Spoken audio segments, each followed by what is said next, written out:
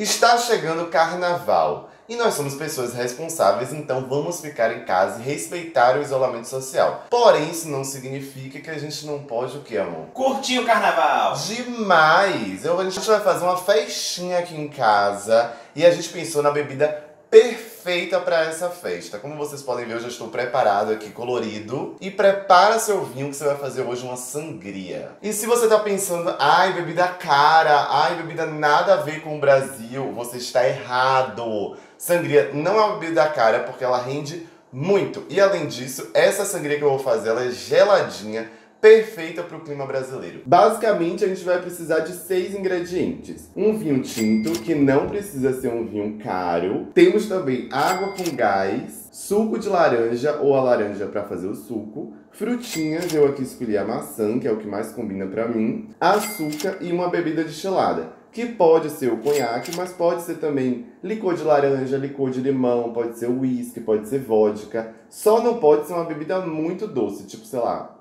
transgélico, porque aí vai cagar a sua sangria. Experiência própria, Pedro já fez isso. Para começar, claro, a gente precisa abrir a nossa garrafa de vinho, que para mim é um pouco desafiante, vocês vão acompanhar isso. Essa é uma receita para duas pessoas, para mim e para Pedro no caso. Se vocês tiverem quatro pessoas em casa, aí vocês podem dobrar a receita. Se vocês tiverem mais, vocês podem aumentar ainda mais a receita, só ir multiplicando todos os ingredientes. Momento de muita aventura aqui. Não sou bom em fazer isso. Eu sei que tem que tirar essa tampinha, né? Tirou. Tirei. Cheguei na rolha, já é o primeiro passo, né? Eu podia fazer assim, né? Pá! Não, mentira, não, não, é faço champanhe, gente. isso. Ah, é verdade. Ainda mais com a faca de serra de cozinha.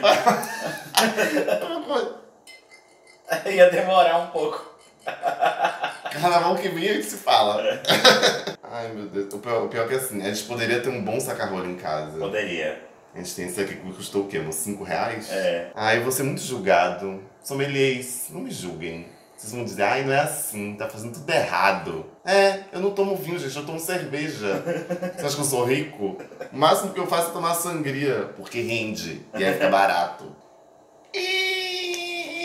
Eu tô sentindo que vai quebrar. Se quebrar, o que que acontece? Joga a rolha pra dentro. Por que não é de, de abrir assim, de rosca? Eu tenho uma boa curiosidade. Vocês sabiam que a rolha foi criada muito antigamente e o saca-rolha só foi criado 100 anos depois? Eles abriam como? Quem criou a rolha sem o saca-rolha? Se agora tá difícil, imagina naquela época, naqueles 100 anos lá. Não, vem cá. Depois de você pedir pro seu namorado abrir sua, sua garrafa de vinho Vitória, conseguimos, a gente vai colocar num bol, numa tigela de vidro que você tenha. Ela precisa ser um pouco maior do que a quantidade do vinho, que eu acho que é. Porque você vai botar todos os ingredientes aqui dentro e vai servir como um poncho. Sabe poncho que você bota uma concha e vai Ponche. servindo? Ah, é ponche? Ponche. Ah, poncho é o que você usa. Ponche é né? uma roupa. É como um ponche. Hora do suco de laranja. Você pode fazer em casa ou comprar pronto. Mas se você comprar pronto, garante que você está comprando um suco de laranja de fato e não aqueles que tem sabor laranja, porque aí vai ficar bem ruim. E a gente quer a quantidade de uma xícara. Mas se você quiser uma sangria mais levinha, mais docinha, você pode colocar mais. Agora isso aqui vai fazer muito barulho, então eu vou pedir pra Pedro Editor colocar uma música. E botar uma música carnavalesca, né? Não, amor, não invente não. Você me dá muito trabalho na edição. Quero uma música carnavalesca, mas que não pode botar música assim, ah, botar de sangala, senão o YouTube derruba, né, eu acho. É. Ah, Então se vira aí, editor.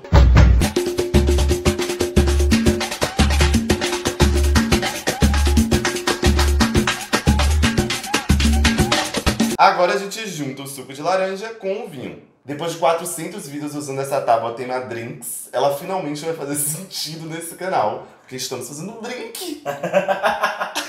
A gente vai usar ela para cortar as nossas maçãzinhas. Eu vou botar só maçã, mas você pode colocar também pera, pêssego, a fruta que você preferir. Quer dizer, só não uva, né? Porque é um pouco redundante, né? É, ou então uma fruta, sei lá, com caroço. Também acho meio estranho. Nem jaca, né? Não, a- porra, uma jaca? Não. Tem um bom senso, entendeu? Usem o bom senso de vocês pra escolher a fruta. Cortei minhas maçãs em pedaços bem pequenininhos, porque lembrem-se, as pessoas vão botar em copos, então é bom que ela esteja em pedaços pequenos, porque senão, sei lá, a pessoa, né? Pedação assim, pode engasgar, né, menino? E aí, você coloca direto já na sua sangria. Isso porque a sangria vai ajudar a maçã a não oxidar. Se você deixar do lado de fora, ela vai ficar marronzinha. Que dá pra comer também, mas aí não já fica tão gostoso, né? A jaca não tem esse problema. A jaca não tem esse problema. Bote jaca, bote jaca na sua.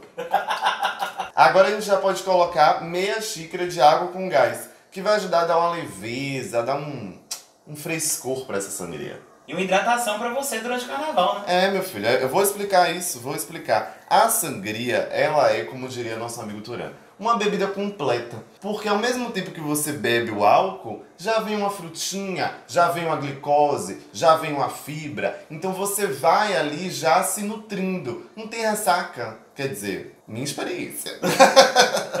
Vamos agora chegando ao final da nossa receita e você viu que é bem simples. Eu vou colocar agora açúcar e a nossa bebida destilada, que no caso vai ser um conhaque bem ruimzinho. Então se você tiver aí um Grand Marnier, um licor de laranja chiquerésimo, vai funcionar melhor, eu garanto. As quantidades. Eu vou colocar uma colher de sopa de açúcar e a mesma quantidade do nosso conhaque. Mas, se você quiser uma sangria mais doce, é só colocar mais açúcar. E se você quiser uma sangria mais potente, mais forte, uma coisa assim, carnaval louco, você bota mais bebida destilada que vai dar aquela levantada. E antes de terminar, uma dica: se você quiser fazer com vinho branco, também pode, fica até mais refrescante. E daí você pode fazer uma sangria com abacaxi, uma coisa bem tropical, né? com manga, ó. Carambola. Carambola, pô, boa ideia. E jaca.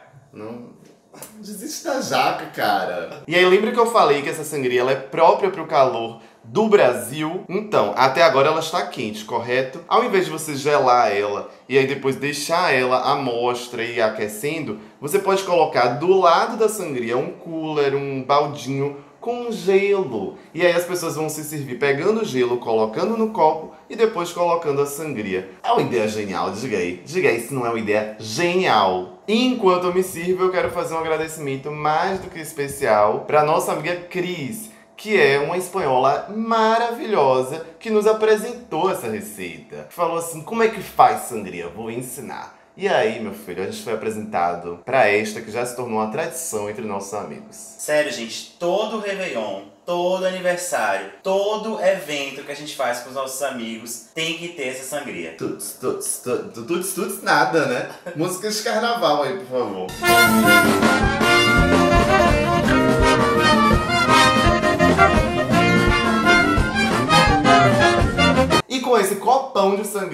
A gente termina mais um vídeo aqui do canal, que vocês sabem, é especialista em trazer receitas muito boas e ao mesmo tempo muito acessíveis. Se você curtiu, comenta aqui embaixo, compartilha esse vídeo e escreve aí o que é que você mais gosta no carnaval. Eu estou morrendo de saudade dos blocos de Salvador, dos trios independentes, da galera na rua, daquele cheirinho de carnaval, sabe, característico. Mas até lá a gente vai curtindo em casa, coloca um som, faz essa sangria e tomem cuidado, pelo amor de Deus, não saia de casa, que a gente ainda está durante uma pandemia.